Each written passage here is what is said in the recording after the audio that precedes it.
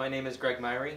I originally come from Wisconsin. It was early February where I where I got out of bed and I literally could only this is this was my position.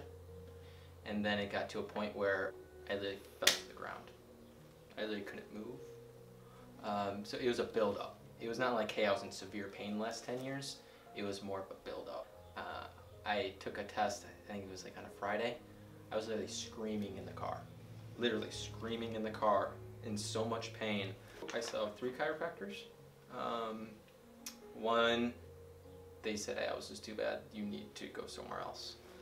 Um, and then there was another one where it was just, they looked at me, they put some, uh, it's like uh, massage things on me to like kind of vibrate.